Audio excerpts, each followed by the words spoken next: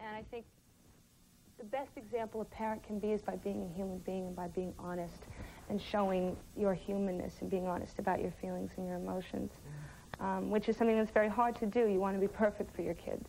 And I think that's a mistake because nobody's perfect and your kid isn't either. And if they see these two perfect people as their parents, they're going to think that they're weird and that they're a freak mm.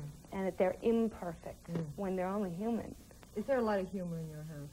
No, it's dead serious. Is it dead serious? Yeah. I thought it might be. Yeah. No, no yeah. laughing. I have a None. big sign with like a smile and a cross through it. Yeah. no one, no one, no, it's not allowed. Uh, no fun. Oh. Where are you next? I mean, what, what's, what's in the future? I'm working with the band. We're trying to get a record deal. Are you? Yeah, please. yes, please God. Everybody It's hard. It's really, it's, yeah, it's difficult. It's like starting all over again, which is great. I love it. Uh, we've been rehearsing and practicing and learning the songs, and and it's uh, it's really exciting. Now, your mom is single again. Your parents got divorced, and you're dating. I heard you double date. Well, we we have in the past. Uh, so what's that like? it's fun. I you know. Uh, I'm always curious to see who she'll who she'll who drag she'll up drag next. I knew you were going to say that.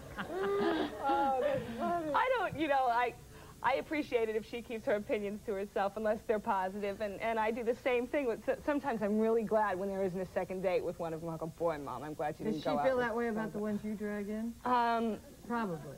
yeah, I, I've got pretty good taste. Better than your mother. Yeah. The two of you are working on a book together. Yes, we are. Now, what's that about? That's about communication and just what I was uh, saying to you about honesty and growing up and mother-daughter relationships and you know, God's nasty trick and all of that. You're busy. You're very busy.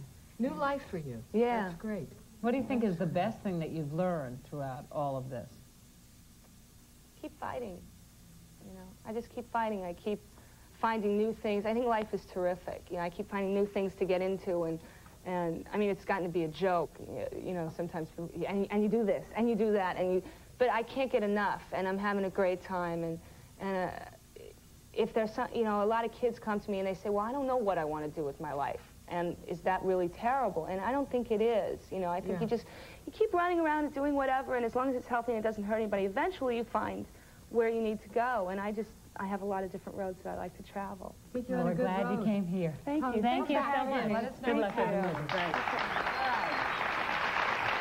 Well, keep your shirts on. We'll show you how to collar his cuffs when we return.